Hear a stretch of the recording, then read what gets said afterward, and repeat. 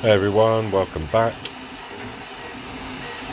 Today I am going to make a complete building. It is just a Wild West abandoned building, house, abandoned house. Been going for a little while now and everything seems to be fine so far. So in this video I will give you throughout this build some you know little snippets of the actual build and how it progresses. I'm not going to have the camera here held here for four hours. My arm will start hurting. But I shall show you a few bits that I've already printed off. I've probably paid, well this machine has paid a hundred pounds worth of stuff already from what I've printed off. I'll show, show you a few bits in a second that I've done. Just completely an amazing thing. So as I said, we'll I shall show you you know how I got started basically. Um, it is very beginner level. I'm by no means not even a novice. So I'm we'll show you how I got basically to this point. Um, before I do, I'm just going to show you because we'll come back to this um, shortly. As I said, I'll show you snippets of, of the build progressing. But I'm going to show you something that, or some of the stuff that I've already 3D printed. As I said, you'll have to excuse the, the crudeness of the, the video. Um, hopefully you can see the details. So I printed off four of these. This was the first one. Little mistake on the top there, not a problem because the scenery will cover it anyway. But um, my PLA got bent. I'm just, hopefully you can, there, you can see the the prints itself. As I said, there's four of them. Yeah, so there's probably 30 quid just there, you know, I'd have to, you know, if I was to buy them off eBay, like, you know, um, they came out, all the rest came out really well. Really, really smooth, really sharp. Um, a couple of little bits just to, to file off on them, but you know, it's uh, yeah, I'm well pleased. Like I said, this is for the um, movie scene theme park modules. So let me just quickly show you the process. So I set up machine, my machine, which was, you know, even with the LCD PCB thing at the back, the cable, which was a bit tricky for me and just obviously for those that don't know me, that's why it was tricky. You know, I'm a disabled guy. I'm not very knowledgeable about the whole 3D pr process. Um, Anthony Dodge kindly put me in the right direction with his video. But this is how I got basically started. So I downloaded Flash Print 5 it was in now I just clicked the, the model I had which was the Flashforge Adventure 5M and I just downloaded that onto my laptop. Then I went on to there's there's a lot of sites I'm not endorsing any um, you know. But there's loads of sites there's loads of free downloads as well. So you know. And if you do want to buy some stuff, they're literally just like I paid 80p for the picnic baskets. So I've got them, um, not picnic baskets, picnic tables. You know, and I've got it there so I can download as many as I well print off as many as I want. But this is the abandoned house that's being printed at the moment. So went on to Cults 3D, downloaded the the zip file, and then put it onto my desktop, opened it up, got the the you know the program, the the file out, which was the uh, where is it? There, the abandoned house. Took that out of the the folder, put that on the desktop. Then I opened up my Flash Print 5. New project, transferred it across. Then I resized it. It'll tell you on the the download, you know, of what size you need for whatever scale you're doing. If you're N gauge, you know, usually it's 10 millimeter. You know, uh, you'll have to look at the percentages because I'm not quite sure on that. I know 87% is HO gauge because one in 87. So uh, obviously you can scale up or scale down the size of your building. So I've scaled it to 187 because that's what it said on the, you know, in the instructions. It's got the most of them have got the instructions there, whether they're free downloads or or payable ones. So transferred the file into my Flash Print 5 in the new project and then you click start slicing. Once you click start slicing it'll do its thing. And then once you're done it obviously I got one with LCD screen so it's got its Wi-Fi same as my laptop.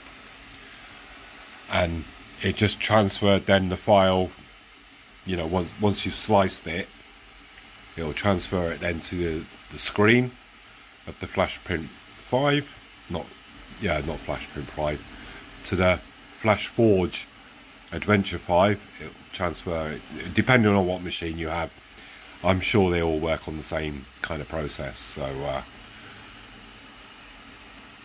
the file transferred over to there and obviously did its warming up of the nozzle and the bed and everything else. And and away we go. And as you saw it's you know this is not even a tutorial it's just a basic way of of just how I got started basically. So I went on Cults 3D downloaded a few things um, transferred it to the desktop.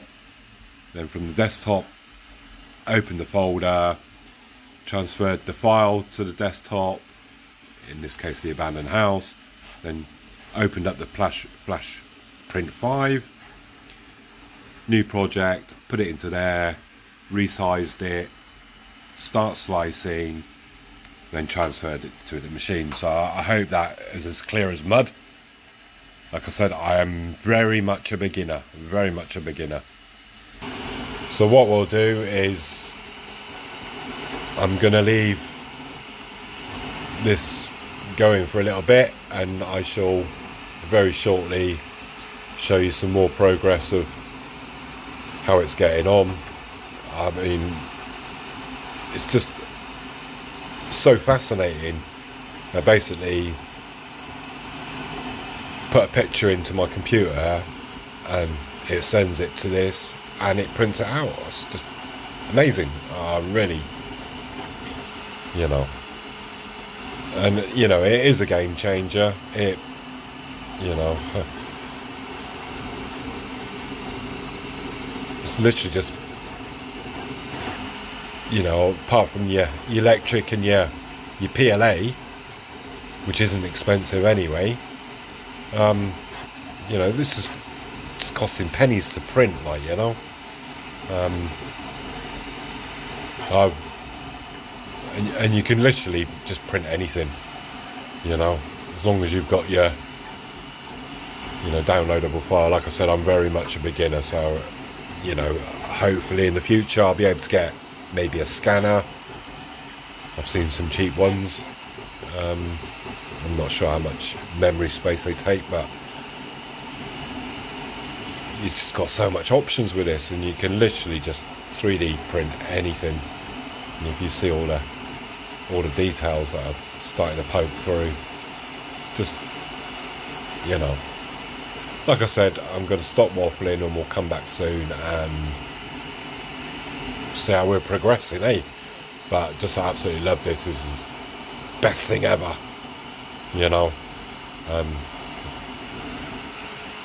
you, you, can get cheap ones for 150 quid. I've, I've seen them actually for 90 quid, but you know, and you can get your really expensive ones that cost you a thousand pound. But you know, I'm nowhere near that level.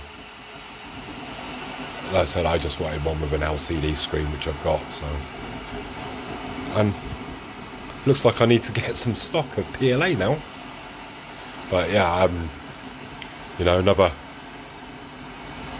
another few more prints, and this machine would have already paid for itself, like you know. So, really happy about it.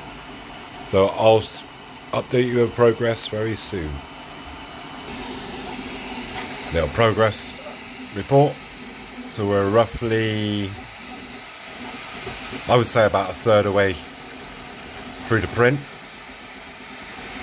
And it's all starting to look just like the picture. So that's the way it looks. You can just see the tree. Hopefully I can get a good view of it. No, the tree coming through the window. So yeah, very much in an abandoned house.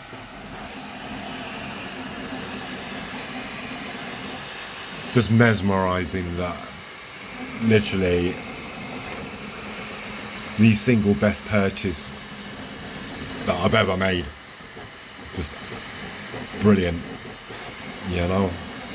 Uh, just so much you can do with this and you know the whole fact that I'm saving a bunch of money is brilliant. It's just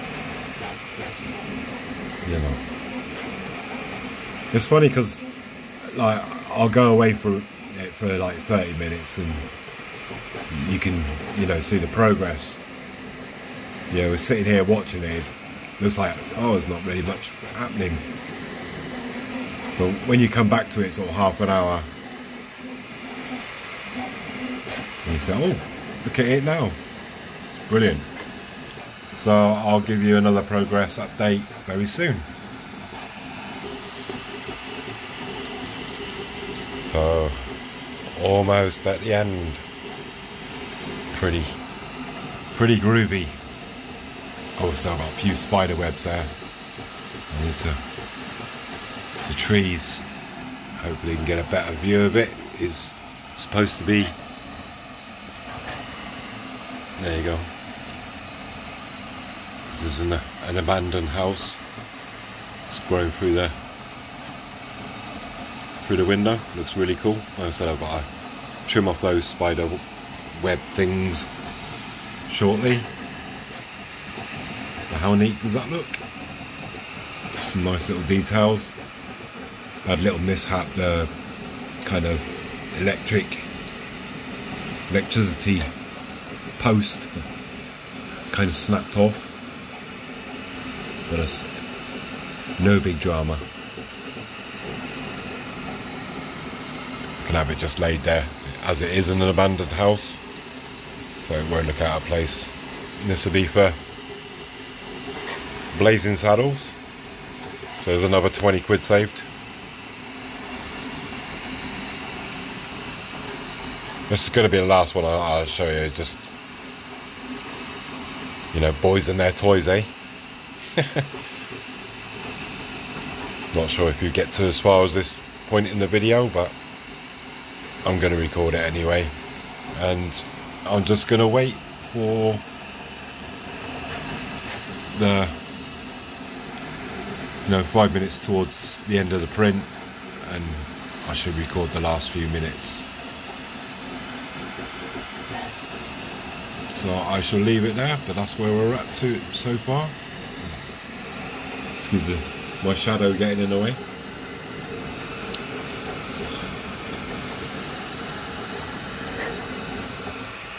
See you shortly. So we've finished. I couldn't record the last minute or so because my phone ran out of battery. But this is my little abandoned Wild West hut.